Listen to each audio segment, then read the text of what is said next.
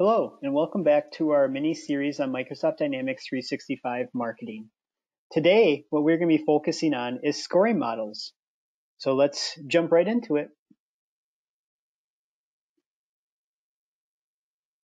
So inside of D365 marketing, I'm in the lead management area under scoring models. So let's open up one of these existing um, scoring models to see what they look like.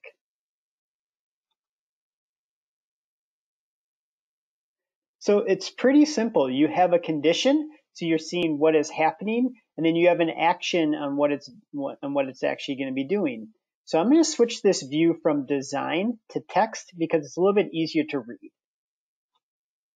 So now what you're seeing is that based on these different rules, um, you're going to be adding or removing points. So let's just kind of look at some of these conditions.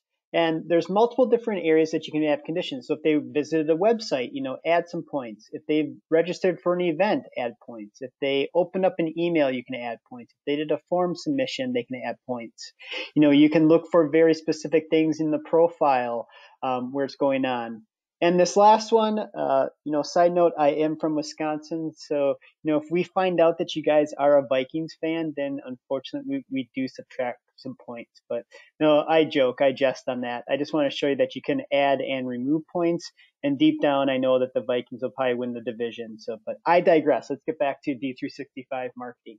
So as you can see, it's very robust. You can have multiple different rules. You can be either adding points or removing points. And there's lots of different things from, you know, stuff they've done from a marketing standpoint, you know, just based on information that's filled in inside of your Dynamics environment. And then you can add and remove points. Let me go back here to the designer.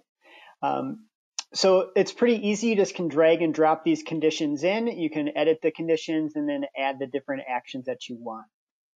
The other part that's really nice about these scoring models are the grades.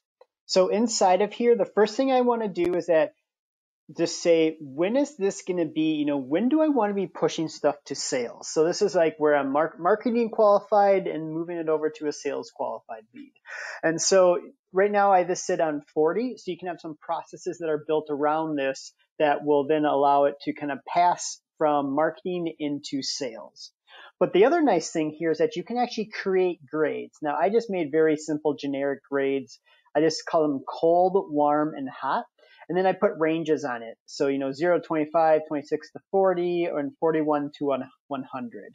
Now, what this is nice for is that these can be reported on or filtered on and different things like that. So if you have multiple different kind of leads out there and some, you know, some of the scores are, let's say 81, 82, 83, you can just say everything in the 80s are hot. And then you can just, you know, kind of filter it or group it by these grades. So it's a nice way to be able to do that. And you can add as many, I shouldn't say as many as you want. You can add many grades out here and then put the criteria appropriately. So let's take a look at what they look like on the leads. So I'm going to go in this area called lead scores. So those of you that are familiar with D365, this should look D365 sales or customer service or any of the D365 mod modules. This should look very familiar. This is a common view. And so now I have my leads and then I have my scores. And then notice I even have my grades. And then it can tell me where, where it's at. So sometimes if, if lead scores are still being calculated, it might say in progress, different things like that. But now you can see that, you know, they're up to date and here's the grades and the scores that get, got assigned to these different leads. So as you can see, I can very easily filter on these. I can put them in list views very easily. Now let's take a look at what they look like on the actual lead record. So I'm going to open up this lead for myself, Tom Lemerond. So the first thing you're going to notice is right over here, there is a lead score area. So I can quickly just see what the lead score is. But there's also a lead score tab.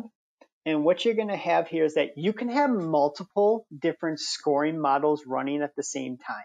You don't just have to have one. You can have multiple ones. And of course, just depending on the criteria that you put in there, they could be in multiple, you know, different stages or levels or points of the different scoring models. So if they're in two or three or four scoring models and this lead is part of it, they will be all listed underneath this lead score area on the tab.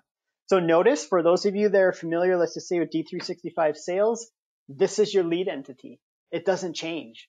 um, it's the same. So the data is exactly the same when you use Dynamics Marketing compared to Dynamics Sales, and that is the power is that it's all sitting on the same um, common data store.